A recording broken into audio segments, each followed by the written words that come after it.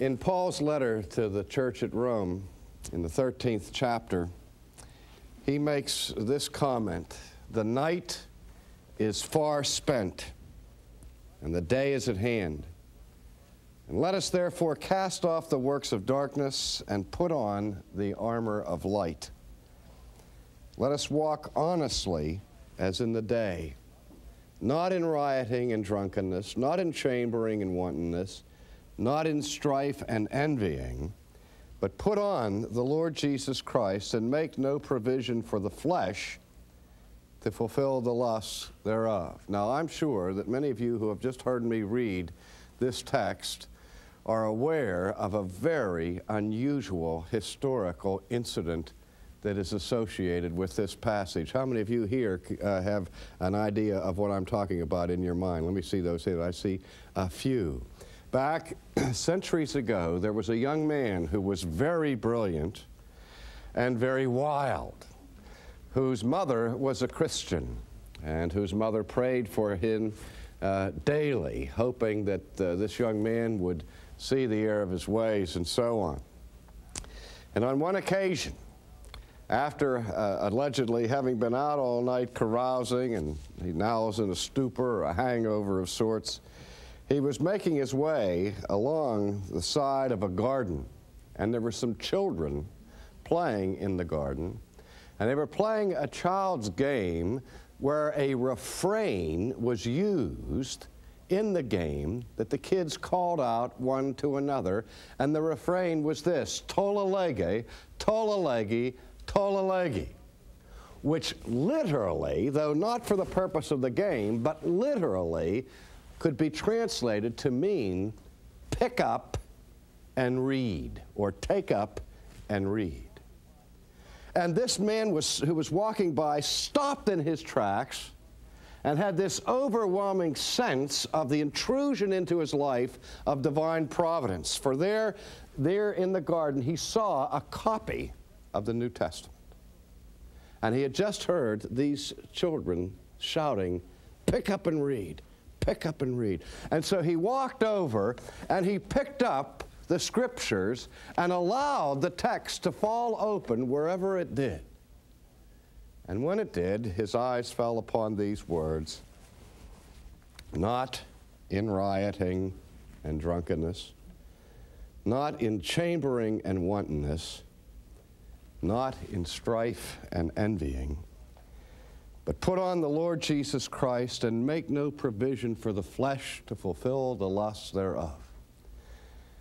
And when he read those words, it was as if each word of that text were an arrow that pierced his soul.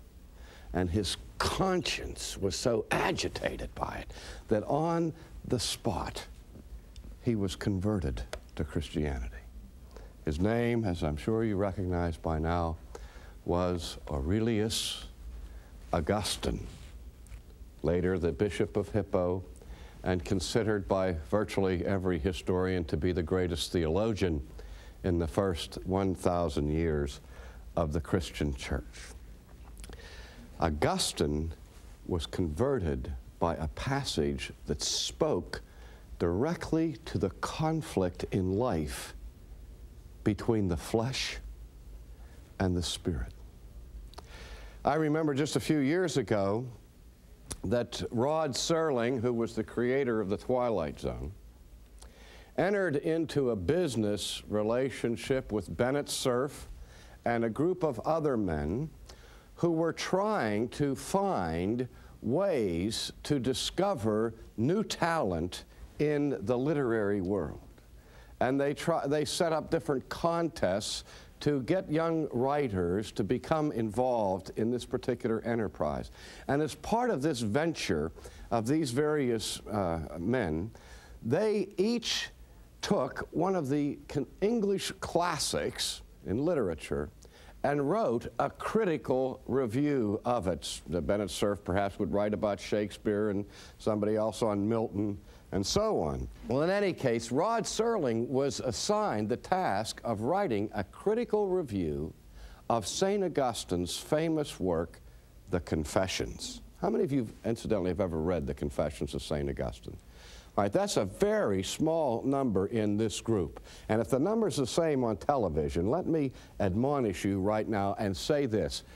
My, my mother used to say in, in, in a situation like that is that she would take a finger from this hand and a finger from this hand, and she would put them together like this. and she would say, Shame on you. Now, listen, if you've been a Christian for one year and you haven't read the Confessions of St. Augustine, shame on you. That is a classic that we need to be exposed to. Now, uh, here, Rod Serling read it, and he, came, he uh, in his review, he said, in scathing remarks of criticism, that in his judgment, this book was one of the most overrated books in the history of Western literature. He said it simply does not deserve the status and the uh, fame that it has enjoyed over the centuries. And in uh, this criticism, the point that made him so severe was he was convinced that the book was written by somebody who had a neurotic preoccupation with guilt. And he called attention to one passage in the uh, uh, confessions that would illustrate his judgment that Augustine had this adolescent neurotic preoccupation with guilt. And it was the story where Augustine recalled as an old man the things that he had done in his life about which he was most ashamed. And he recalled an incident that took place when he was a teenager, where he became involved with some other young guys in an adolescent prank where these fellows went into somebody's private uh, uh, orchard and denuded a pear tree. They helped themselves to the pears that belonged to somebody else, stole all these pears, and then left. And Augustine now, 50 years later, is mourning over this childhood prank. And Rod Serling says, Give me a break, Augustine. I mean, what's the matter with you? I mean, people are out here guilty of adultery and of murder and of grand larceny and, and these serious things. And here's this guy, all exercise over stealing a few pears when he was a kid. But Augustine explained what it was that made him feel so remorseful. It wasn't the, the bare act of stealing this fruit.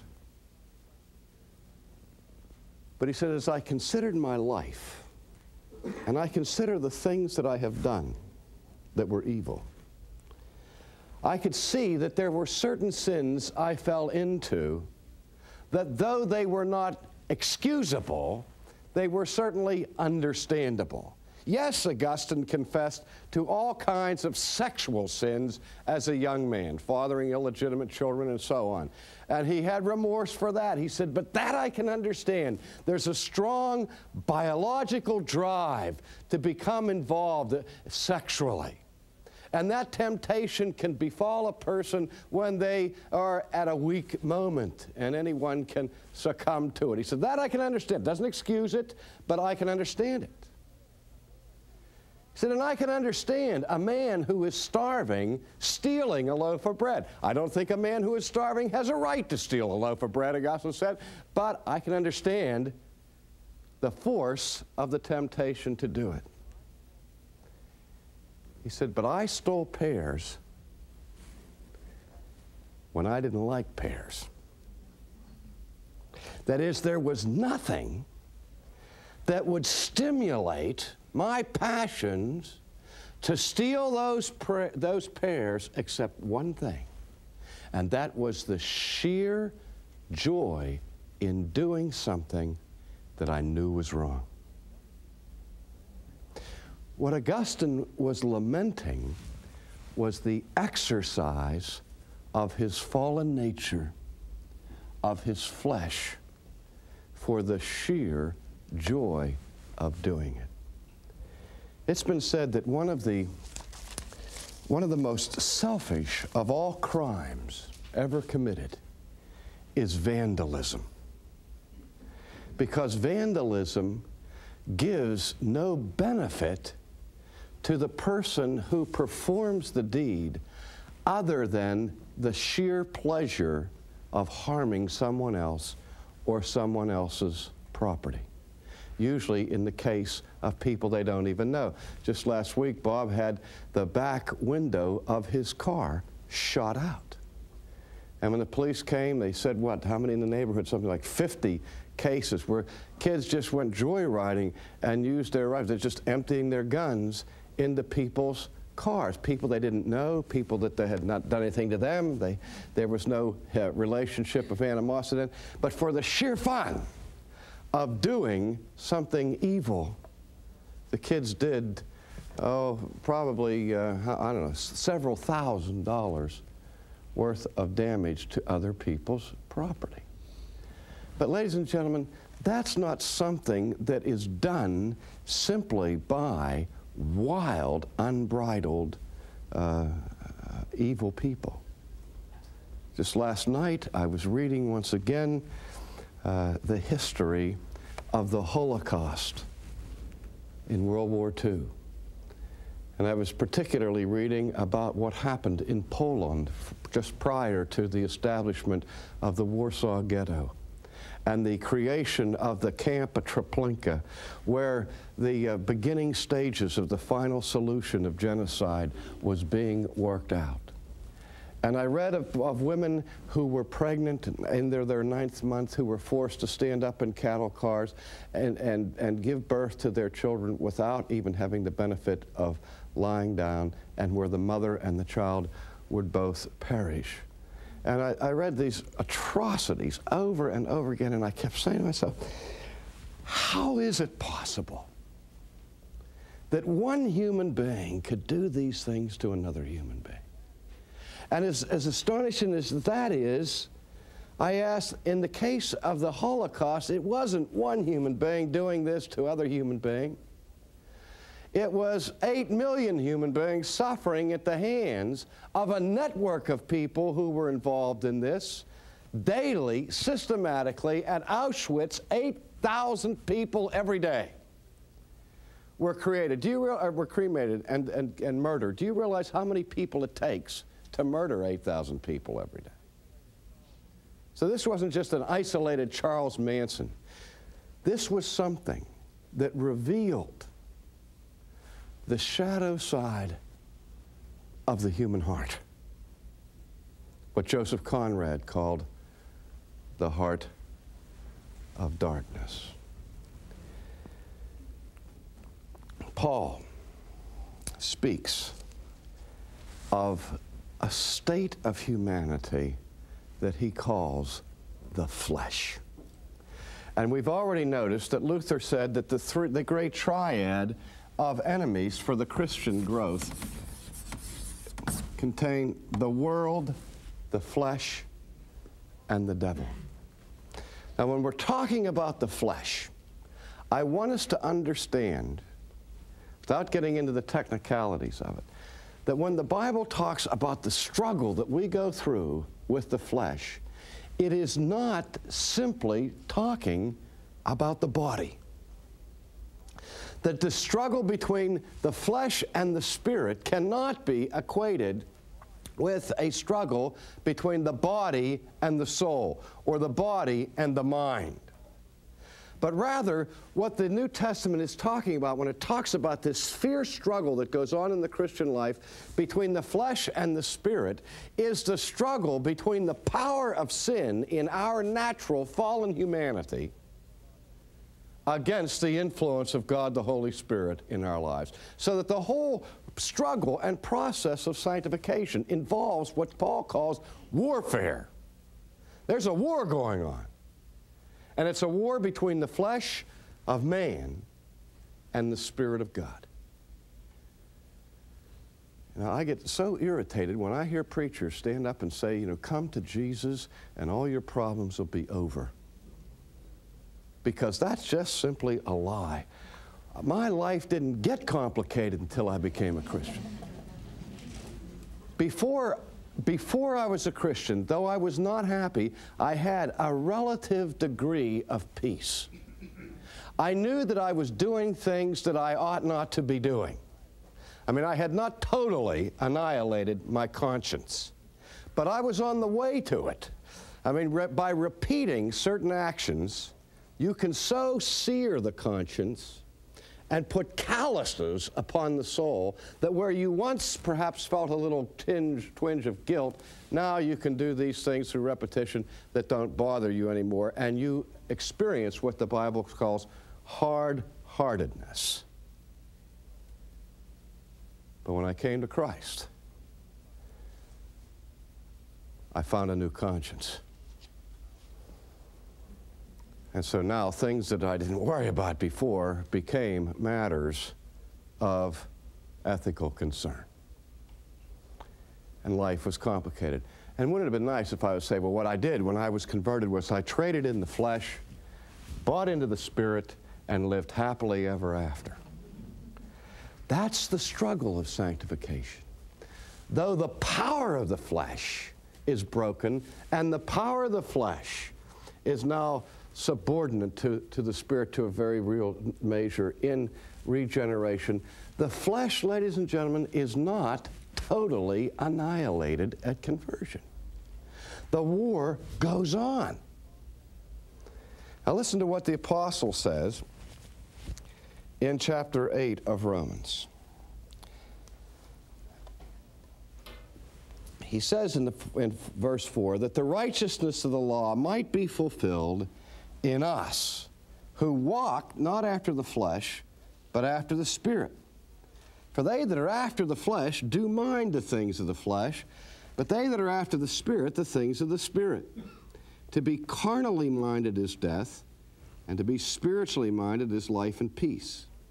Because, listen to this, the carnal mind is enmity against God, for it is not subject to the law of God, neither indeed can it be so then that they that are in the flesh cannot please God. Now, what is the topic of this series of lectures? Pleasing God. And here the apostle says, Those who are in the flesh cannot please God. That God is not pleased, He's never pleased, by a lifestyle that is characterized by the flesh. Now, when he says that, does that mean that what God hates is physical things? So often, that's the way this verse has been interpreted, and other verses like it. And so Christians think that to be spiritual means to deny the body and that anything that has anything to do with physicality must necessarily be wrong. That's why we've seen uh, incidences arise in church history where Christians have got involved in all kinds of rigorous forms of asceticism, forms of self denial, and self flagellation, where you go and you hide in a cell like a hermit and you beat yourself and, and you deny yourself food and you get skinny as a rail and you, and you take uh, uh, all kinds of vows for celibacy and, and and, so because sex is wrong not only outside of marriage but inside marriage, food is wrong, anything that brings physical pleasure is considered wrong. Ladies and gentlemen, that was invented by Manichaeanism, not by Christianity. The first affirmation of the God who makes a physical world is what? He looks at that physical order and he says, that's good.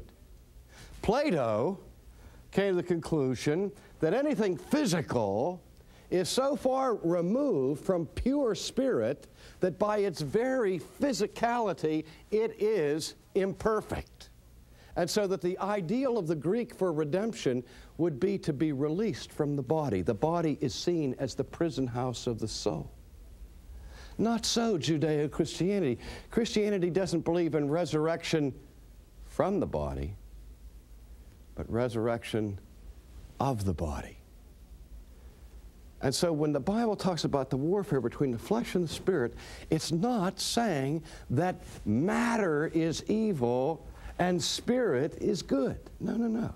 If you look in Galatians where Paul sets forth the works of the flesh, What does he say? The works of the flesh include such things as drunkenness, adultery, fornication. Now let's just stop there for a second. Those would indicate what? Physical sins. Drunkenness is something that happens when we have a physical appetite, a physical desire for alcohol, and we overindulge ourselves in those things, and so we get blotto we can obviously see the connection between the body and the action there. Adultery is a physical sin. It's, it's being uh, succumbing again to biological instincts and passions where God has said no. But if you look at that list, he goes on and speaks about lying, envy, hatred, now, obviously, you can't lie and envy and, ha- and hate uh, outside of your bodies, but they are not physical actions, are they? They have to do with attitudes and dispositions of the heart. You look at this uh, envy. I mentioned earlier the sin of vandalism. Why do you suppose vandalism takes place? Vandalism is simply the outward action of inward envy. The basic attitude of the vandal is this if I can't enjoy what you possess, I'm, not, I'm going to make sure that you can't enjoy it either. He doesn't simply steal it for himself, but rather he destroys it so that no one can enjoy it. There's a certain sense in which that's a degree worse than uh, actual theft, but it comes out of a spirit of envy towards other people's possessions. Do you have any idea how destructive, for example, to human relationships envy is? How many ways people are violated that are motivated by envy. How many times you've been slandered, you've been attacked unjustly because of someone's envy? You ever wonder why, in God's ordering of priorities, God puts envy in the top 10 of the laws? Thou shalt not covet. The New Testament teaches us that if somebody else receives a benefit, something good happens to them, we're supposed to rejoice in their good fortune rather than to rejoice in their fall. There's an expression, a cynical expression, in golf. I don't like it. And it is this every golf shot makes somebody happy. Every golf shot makes somebody happy. If a guy hits it in the water, it doesn't make him happy, but it certainly makes his opponent happy. But what I love to see in a golf tournament is where everybody's rooting for everybody else to play their very best and to have somebody win it rather than somebody else lose it. There's a difference. Because you're not wishing bad fortune on another person. That's what we do when we succumb to envy. So, what I'm trying to get at is this that the flesh refers to the old fallen nature. Now, in the time remaining, let me ask this question. The Bible says that to be carnally minded is death, to be spiritually minded is life and peace.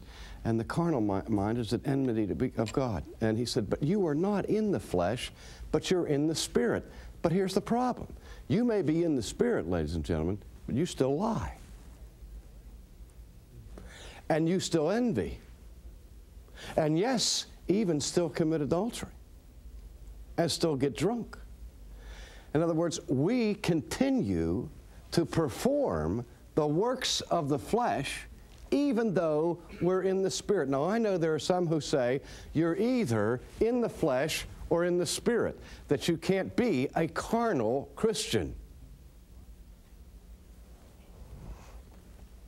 Now, when Bill Bright says that, I think he, he speaks to it in a very significant pastoral way where he's saying to people, Look, you have these influences, this warfare going on. Who is going to be on the throne? Who is going to be the victor? Are you going to live in acquiescence to the Holy Spirit, or are you going to indulge the flesh? For the rest of your life. And he's talking about a spirit filled life that sees the emphasis is on the level of the spirit rather than on the flesh. But some people have devised from that and from others the theories that there are different kinds of Christians a carnal Christian who doesn't have the Spirit of God, and a spiritual Christian who's no longer carnal. Ladies and gentlemen, anyone who does not have the Spirit of Christ is not a carnal Christian. He's a carnal non Christian. Okay? So, in that sense, carnal Christian is a contradiction in terms. If a person is only flesh, what the New Testament calls flesh, with not the Holy Spirit dwelling in him, then he is outside the kingdom of God. He can't possibly please God. And yet, if a person has the Holy Spirit dwelling in him, that person may do carnal things. That person may still struggle with the flesh but he is a spiritual person. Now it becomes a matter of degree of how much we submit to the Holy Spirit.